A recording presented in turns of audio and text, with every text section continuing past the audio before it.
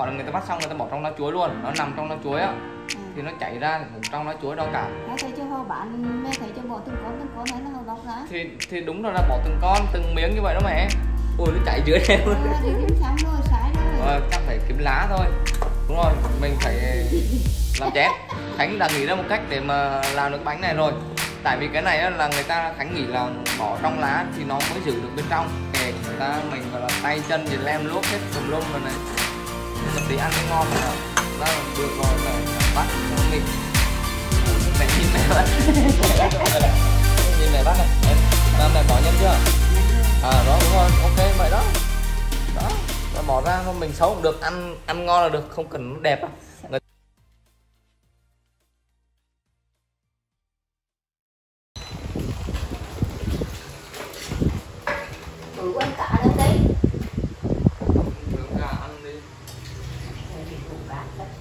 Xin chào mọi người, thì uh, hôm nay chiều thứ bảy mọi người là mẹ con Khánh đang uh, ở nhà thì đang uh, rủ nhau định uh, làm cái món gọi là uh, bánh bột lọc.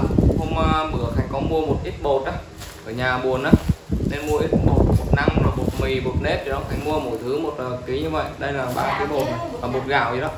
đó. Mua được ít thì hôm nay uh, thứ bảy nữa, nên là Khánh với uh, Khánh vào vào bếp thử để nấu uh, làm cái món gọi là bột lọc à, bánh bột lọc á cái này Khánh đang à, à làm mấy cái à, củ hành. À, làm mấy củ hành để tí nữa mình à, mình bỏ vào nhân á. À, mình xào với nhân cho nó thơm rồi mình bỏ vào bánh làm thử. À, Khánh hôm nay Khánh thử nha bởi vì là bữa giờ là trước giờ là chưa khi nào mà làm mà làm bánh như vậy hết á. Ăn thì mua thôi chứ cũng chưa khi nào mà làm cả. À, còn mẹ thì đang à, bóc tôm à, để chút nữa bằm ra cho nó xào lên xào lên làm nhân đây là bánh bột lọc tôm nha. À, làm ăn thử. ừ đúng rồi cắt cắt gì đó cắt cắt rồi xào lên mình rửa con.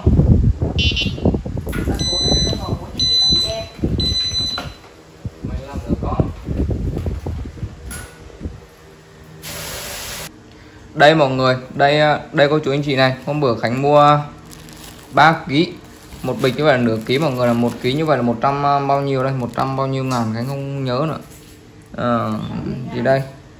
Đây là bột năng. Họ ghi chữ năng mọi người là có nghĩa bột năng. Đó. Một ký là khánh mua như vậy 160 anh nhớ mang máng như vậy. Đây là bột nếp này. Đây bột nếp nha. Một ký 160 đó. Một ký 160 đó mọi người. Đây đây là bột năng nha một cái bột năng ở đây. Cái này mình làm là bột gì? Bột năng đúng không mẹ? Mình làm bánh là bột năng đúng không? Chắc là bột năng á. Bột gạo này. Gạo này để bữa sau nấu bánh ấy đây và đây một uh, một gạo. Đây ba ký. Thì cái này khánh uh, làm cái này khánh làm bột năng nha. Lấy nửa ký bột năng để làm còn lại cất để bữa sau uh, làm gì thì làm làm bánh hay là nấu chè hay là làm làm, làm còn là bánh gì đó thì mình ăn. Đó bây giờ khánh sẽ lấy một nửa ký này đi uh, làm bánh một lọc nha. Ba mẹ con thì ăn một nửa ký thôi. Ăn nhiều không hết đâu. Bây giờ khánh sẽ đi trộn trộn bột nha. Chào mọi người, thì đây đang ờ, là cái công đoạn gọi là chuẩn bị nguyên liệu. Thì Khánh vừa ờ, thái được ờ, một ít hành củ. Khánh mới bóc xong giờ thái nhỏ ra để mình xào với xào với tôm á. À, còn tôm bây giờ mẹ rửa sạch rồi. Bây giờ Khánh cũng sẽ chẻ đôi nó ra luôn. Đó, đây là tôm lúc nãy Khánh giới thiệu mọi người đúng không? Tôm này bây giờ chẻ đôi ra sau đó ướp tầm ướp gia vị sau đó mình sẽ xào. Nó xào cho chín lên. Tôm này thì là đóc vỏ sạch rồi mình chỉ cần là chẻ đôi ra để bỏ vào cái cái lúc mà mình nhân bánh á. Nửa gói thế này. Ừ. tôm là cứ chẻ như vậy. Nửa gói. Ok. Không nhão không khô. Đó, khi mày bắt ra xong rồi mà bỏ tôm vào trong này này. Gấp lại phát. Ráng túm ra chết sao đấy chào mọi người thì um, nhân bánh thì là cái uh, tôm và mẹ mới bằm một ít cái uh, nấm mục nhĩ mọi người. Nó bỏ vào đây sau đó bây giờ khánh sẽ đi xào nó lên.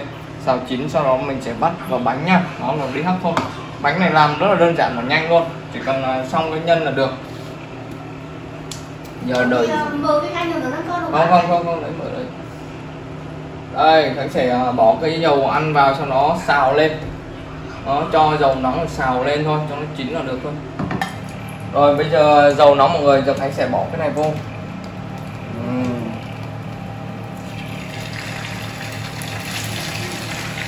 đó. ui ôi.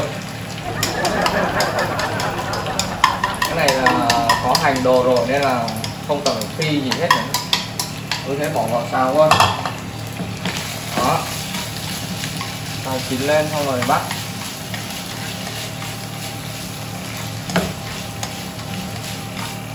Nhanh thôi mà mọi người. Mọi người đừng thèm chảy nước miếng nha. Cái này do cái bếp của khánh nó hướng vào bên trong nên là quay khánh cứ phải quay ngược ra sau này. Chẳng ra nếu mà quay nấu ăn là phải quay trực tiếp ở đối diện nó mới à, gọi là hoành tráng nó mới chuyên nghiệp. Còn này là khánh à, nấu ở nhà nên là tạm thời mọi người xem như vậy thôi. Đó. xem mà hình ảnh nó không được đẹp thì à, không cảm giúp khánh. Đó, tôm khi xào một phút rồi nó sẽ săn lại thế này đấy mọi người ăn quay sát một tí vào. Đó. Tôm là bắt đầu nó được uh, bắt đầu săn săn lại đó. Bắt đầu là ngả vàng và săn lại rồi. Mình xào tầm hai ba phút thì đó là tôm nó sẽ chín. Mình xào sơ mọi người không cần phải xào chín lắm đâu. Cho mình hấp được mà.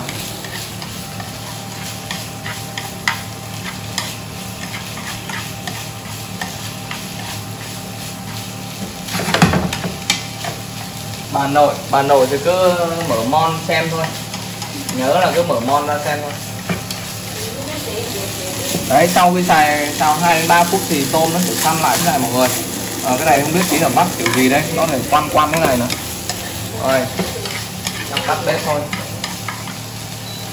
Đây tôm là xong mọi người nha. Đó, bây giờ mình sẽ đi bắt Nó đang nó nguội. Tôm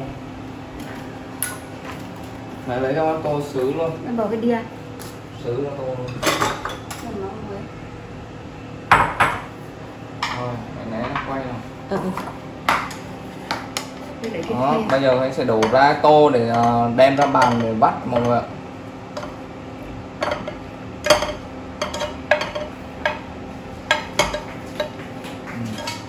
Đây là lần đầu tiên khánh làm mọi người nha.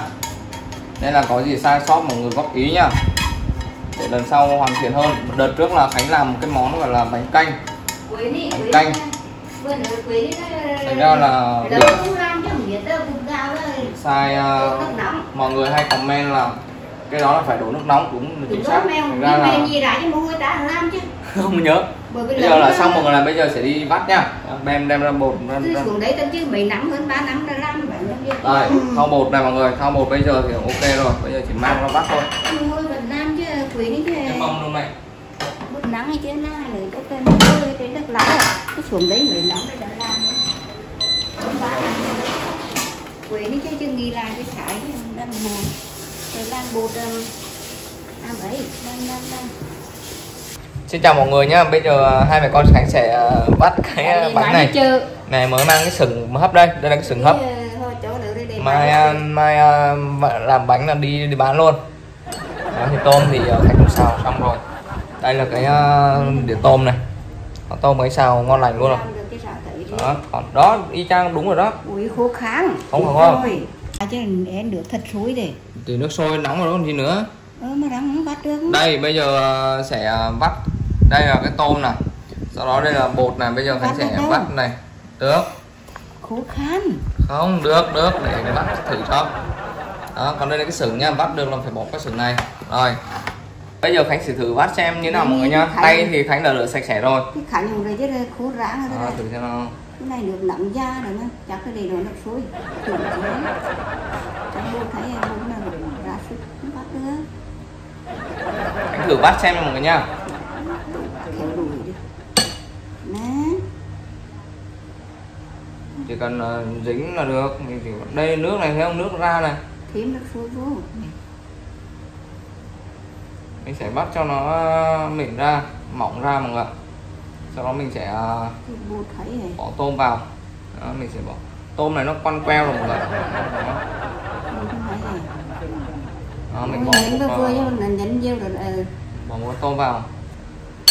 Nói chung ờ, làm này vui thôi thực ra là mất công. Nó rất là mất công luôn bởi vì mình không quen tay là làm lâu. Đây khải là làm xong một cái rồi mọi người nha. Đấy. Đấy ok chưa? Đó bây giờ là bỏ sừng đó. Thực ra là được rồi mẹ chỉ cần bắt cho nó mịn. Ừ, đó. mẹ nhìn mẹ bắt. Nhìn mẹ bắt mọi người này. Đây, nhìn mẹ bắt này. Đấy. mà mẹ bỏ nhân chưa? Nhấn rồi. À đó đúng rồi. Ok vậy đó. Đó và bỏ ra thôi mình xấu cũng được. Ăn ăn ngon là được không cần nó đẹp người ta là bắt thì là bỏ lá chuối nhưng mà khánh không lá chuối nên là khánh sẽ bắt bỏ như vậy đây quay một cái giờ nó chạy toilet toilet rồi Chạy. Chung mình mình làm xong cái sừng này mình mình sẽ đem đi hấp luôn. Đó hấp luôn chín luôn là mình hấp không có người để xong nó chạy này. Thôi kệ nó được Ờ, sao ăn sao đi. Hình đó, nó chạy như vậy không biết là mình làm sai gì không. Nhưng mà này mọi người xem này. Đó chết rồi. Hư bột hư đường hết rồi mọi người. Cái này người ta là gói trong cái ờ, gọi là người ta bắt xong người ta bỏ trong lá chuối luôn. Nó nằm trong lá chuối á à. thì nó chảy ra trong lá chuối đó cả. Nó thấy cho họ bán mẹ thấy cho bỏ từng con từng con hay là họ bóc ra? Thì thì đúng rồi là bỏ từng con từng miếng như vậy đó mẹ. Thì chẳng hạn như này đúng không? Người ta gói trong lá chuối luôn thì nó bọc trong lá chuối thì nó sẽ làm cái hình trong luôn. Thì mình không có hình mình không lá chuối mình bỏ như vậy nó sẽ chảy ra đúng rồi. Ui nó chảy dưới em. Rồi rồi. Ờ, chắc phải kiếm lá thôi. Kiếm lá hoặc cái gì đó mà hấp. À con có cách rồi hấp trong chén luôn chén nó chén nhỏ nhỏ đó. Mình bỏ chén hấp luôn. Họ chạy ra ngoài. À cái đám cuốn đúng rồi mình phải làm chén khánh đã nghĩ ra một cách để mà làm được bánh này rồi. Tại vì cái này là người ta khánh nghĩ là bỏ trong lá thì nó mới giữ được bên trong. Thành ra là cái bột nó sẽ chảy ra như vậy á mọi người. Để ra ngoài là nó sẽ nhão nhão như vậy này. Nhưng ra bột đang khô nha nhưng mà bỏ ra nó chảy ra. Đó. Bây giờ khánh sẽ đổi một cái phương pháp hấp mẹ đi lấy chén cho con mẹ đấy chơi cách này nó mới an toàn gọi là khỏi bột chảy đâu hết. Đó. Nhà khánh có mấy chén này? Giờ chơi sang kiểu này nhá. Bây giờ khánh chỉ chơi sang chén mọi người này nói trong vui đó mọi người. Đấy giờ sẽ xúc ra. Đó bây giờ xúc ra trên cái trong cái chén này luôn. Là bột nó trong này luôn. Có nghĩa là làm bánh to bự luôn mọi người nó sẽ khỏi phải chảy bột đi đâu hết á mình làm nó nó, nó ít. Đúng rồi người ta nghề của người ta mình gọi là tay chân gì lem luốc hết tùm lum rồi này. Nhưng mà tí ăn mới ngon mà. Đó thì tạm thời bây giờ khánh sẽ làm trước một cái này nha. Đó. Ok một cái này. Đó một cái bỏ như vậy. Trong cái này thứ hai. Một lần như vậy là sẽ được khi mới được có thể như trần quy như mẹ đun nước luôn mẹ. Mẹ bắt nước đun đi mẹ đó nói chung là cái này là phải à, có nghĩa phải có kinh nghiệm dần dần nó mới được.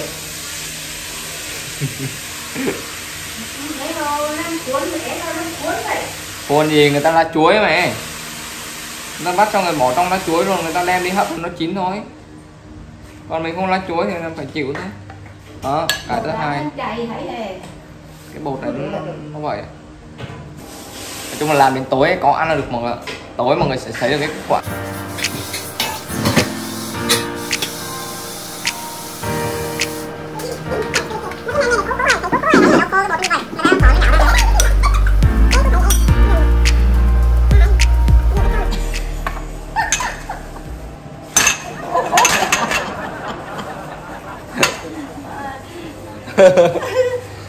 mọi người xem này.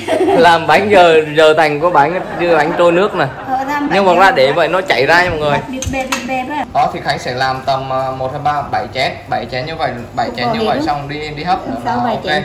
Không bỏ hết được đâu. Hết. Nói chung là cứ hấp bảy chén ăn trước là biết ngon lành hay không mà. Đây mẹ đang bắt đây. Đó. tôm thì rất là nhiều nhân. Đó coi mẹ làm này đó. Thì bịt bồ thì bỏ nhị bỏ nhiều nhấn cái hen của khác đâu. Đó mẹ kẹp lại như vậy là ok xong rồi bẻ bỏ chén. Họ, họ của họ bán những cái như ờ, nửa mặt trắng đây này. Rồi thì người Đó ta là một con tố mà đó. Ừ, người ta thì nghề người ta thì mọi người xem video này mà có kinh nghiệm gì làm bánh này thì uh, mách cho mẹ con Khánh với nhá. Để uh, đợt sau làm cho chuẩn lại cái hơn. nuôi to mà hấp nồi to ừ nồi nào được này Cái nó không xối á. Ừ. Chứ cái này ít lắm. Đúng sôi á đổi nồi. Đấy đấy mọi người ăn được bao nhiêu nhưng mà làm mất công không? Đó mẹ đang đun nước. Nói chung nói chung là quay để cho người biết uh, vui là chính thôi. Thực ra là mấy cái này à dạ? Có cái này to hơn rồi ok. Hấp nồi đó mẹ. Nói chung là chẳng qua là mấy cái này khánh biết làm hết rồi. Chẳng qua là giả vổ như là làm không biết làm để cho mọi người xem cho vui cười thôi.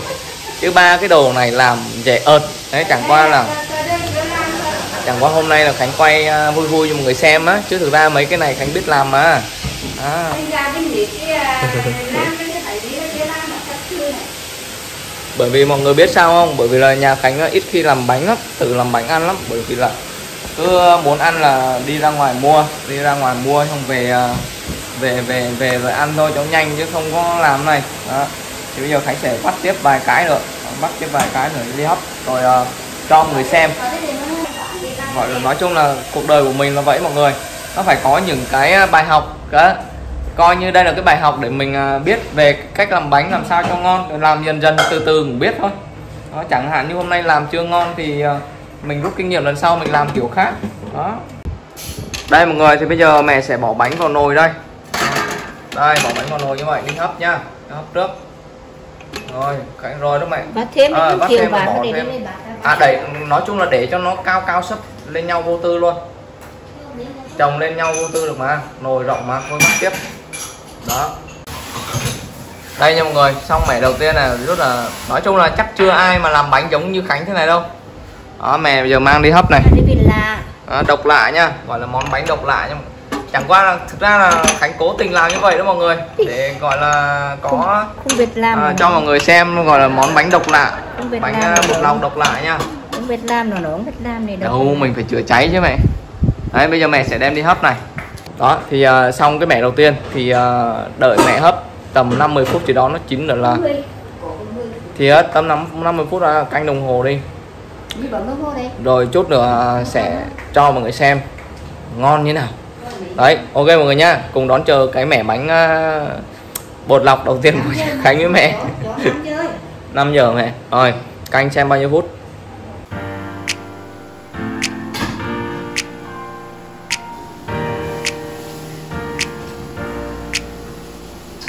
Chào mọi người nhá, giờ thì là 6 7 giờ tối rồi. Thì à, như mọi người thấy đúng không ạ? Trên bàn thì Khánh đã hấp xong bánh rồi. Thì Khánh còn tắm rửa xong bây giờ xuống thì bánh cũng đã chín rồi nha mọi người. Ngoài sức tưởng tượng luôn. Đó. Thì đây mọi người này, đó, quay gần thôi. Đây là những cái chén à, gọi là Khánh à, ấy rồi này. Đấy, mọi người thấy không ạ? Đó, bánh nữa, từ từ thôi, bánh đó. Nói chung là đây là bánh à, bánh bột lọc đáng ra là phải làm trong cái lá chuối nhưng bây giờ khánh làm theo kiểu là bỏ đây và trong cái chén như vậy luôn đó thấy không vừa hấp xong nóng hổi luôn thì bây giờ à, không cần phải chần chừ nữa mình sẽ ăn thử luôn nha mọi người khánh biết chắc chắn là khi làm xong sẽ ăn được bởi vì sao? Nó là như vậy ok rồi. Đó bây giờ thì mình sẽ thử một chén nhá. Mình sẽ chén nào đây? Chén nào mình làm ở đây? Chén này chắc chắn mình làm nè. Đấy chén này mình làm nhá. Bây giờ khánh sẽ à, đây quay gần à, khánh sẽ cạy nó ra. Đó khi nó dính cái này thì mình cạy ra. Đó mà thấy không ạ. Nhân bên dưới này. Đó nhân uh, con tôm và cái uh, cái đó. Bây giờ khánh sẽ chan nước mắm tôm bằng phía mộc nhĩ mọi người. Nước mắm này là nước mắm ờ, tỏi ớt rồi nói chung là nước mắm ngọt ngọt đó. mình làm ăn cho nó dễ nhạt nhạt thôi. Đó thì cái này nói chung là mình ờ, bánh bột lọc hơi dai dai mọi nhá. Bây giờ mình sẽ cắn. Đó quay gần hơn đó mời mọi người thấy cực kỳ đã luôn. Đó. Nó nó không nó không đúng kỹ thuật một tí nhưng mà nó vẫn gọi là ăn được. Thì bây giờ hãy sẽ ăn thử nha. Đây mời tất cả mọi người. À. Uhm, Ừ, thơm thơm ăn ngon thôi, ngon đây thôi đã luôn Ừ. Nói chung là dai dai, ngon giòn được. Ừ. Đúng đấy. Sau làm mỏng hơn tí nữa được không ạ? Mỏng hơn tí được mà cũng phải nhiều mẻ lắm Mẹ ngồi ăn luôn. Ăn thử. ờ, ăn đi Ừ, ngon, ngon. mỏng cái ấy mỏng cái phải nhiều mẻ tức là nó phải bám hề nó Dạ. bám cái ba bát đâu nữa kìa Đây mẹ ăn thử đi. Thực ra cái này gọi là bánh chén thì đúng hơn. Đó, theo như Khánh nếu mà Khánh đặt tên á, thì Khánh sẽ đặt tên là bánh chén. Bởi vì là nó làm trong chén mọi người. Đáng cái này làm phải trong lá chuối mới đúng. Đó, đây nóng vừa vớt ra ăn ngon ngon, là ngon luôn. Ăn thử ấy, ngon. Ngon không? ừ. Cho nước mắm nữa là ăn gọi là ăn ngon hơn ngoài tiệm luôn bởi vì mình làm cái nhân nó ngon á nhân tôm gọi là tôm rồi tiêu rồi mộc nhĩ đồ. Mình làm đầy đủ hành vô rồi nó nó thơm lắm. Ăn nó vừa miệng lắm. Tối nay khánh không nấu nấu cơm luôn mà. Đó, nếu mà tối mình ăn xong là tối mà đói là ăn tôm xong Ăn tôm thì tôm gì đó. Còn này là ăn chỉ cần người ba chén là no rồi bởi vì là cái này khánh làm nó nó nhiều mà. Nó nó nó, nó to á. Ừ, ăn đã lắm. Phải một miếng như vậy phải cắn ba lần mới hết. Đó. Thì đây mày thấy ngon không? Ăn ăn mày ăn hết thử đi rồi ngon ngon hơn ta bố anh đâm ra thương ăn ngon hơn mua đúng không? Ừ. nó thấy không tuy nó hơi xấu tí nhưng mà ăn nó đậm đà ngon hơn. Nha. Ừ. ừ, nó chất lượng hơn. Ngoài kia người ta làm mỏng như kiểu là là chuối con còn tôm thì nó cũng nhỏ xíu à. Còn đây là Khánh làm tôm mà tôm ngon luôn. Nên ăn nó nó đậm đà mà nó ngon hơn nữa à, cay cay của tiêu. Ừ. nếu như cho mẹ đặt tên mẹ đặt tên bánh này mà gọi là bánh gì về bánh gì đây không kia là bánh bột lọc. Ừ. bây giờ mình đặt cải tiến đi cái bánh chén bánh chén đúng rồi bánh chén người nhá đó.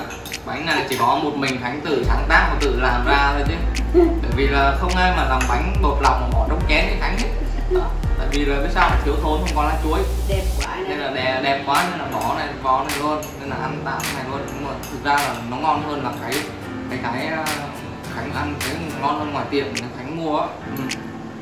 bởi vì cái nhân nó ngon còn cái vỏ bánh mình biết rồi vỏ bánh là nó dày hơn. Dày thì nói dày thì cũng không phải dày lắm đâu. Dày thì gọi là vừa phải thôi. Ừ. còn mẹ lúc này là mẹ làm hai lớp rồi bánh hai lớp rồi Được. hai lớp của mẹ chắc chắc đó mẹ. Đó mẹ ăn bánh hai lớp của mẹ. Nó dài hơn đúng rồi hai lớp đó đây đúng hai lớp này. Ừ, ừ. à đây là hai lớp là dưới Đẹp đây. này. mọi người quay khoa học không nữa này Đẹp, không? đẹp. Chứ của của Khánh mà đấy của Khánh của này. con đây đây mọi người xem. Đúng rồi giờ so sánh này. lôi túm đây là xấu của Khánh rồi, đây đây đây xấu mồm phải xấu rồi. Đây mọi người xem này. Lôi túm ra đỡ. Đó quá, hấp dẫn đó không đây đây quay quay đây đó. đó. nói chung là ăn cực kỳ ngon. Đỉnh rồi thì cũng nói nhiều thì cảm ơn mọi người đã xem cái video ngày hôm nay của khánh nhá. Đó, thì nói chung là hôm nay là mẹ con buổi chiều rảnh nên là xuống bếp làm tí bánh ăn cho nó vui Khoản thì Quan trọng không khí thôi. Đó còn và với, lại quan trọng là nó ngon nữa. Đó, ăn thực sự là khánh nói mọi người không có thể là không biết nhưng mà thực ra ăn cực kỳ ngon. Thật đôi khi là khi mà làm á khi khánh làm với mẹ thì đôi khi mình nhìn mình cảm tưởng như là nó nó fail có nghĩa là nó không có được uh, hoàn hảo bởi vì nó bắt ra nó cũng được uh, được đẹp á. Nhưng mà sau khi bỏ vào chén hấp như thế này mình cảm thấy nó nó nó nó ok. Nó ăn vô tư nha mọi người không có lá chuối hay là gì đó làm như vậy cũng được vô tư luôn. Rồi cảm ơn tất cả mọi người đã xem cái video ngày hôm nay của khánh nhá. Hai mẹ con khánh thì ờ, xin chúc tất cả mọi người à, luôn có một sức khỏe thật tốt và vượt qua dịch thật là à, an toàn nhá. Xin chào hẹn gặp lại mọi người. Bye bye. Mọi người. Mọi người nhớ đăng ký kênh ủng hộ khánh đấy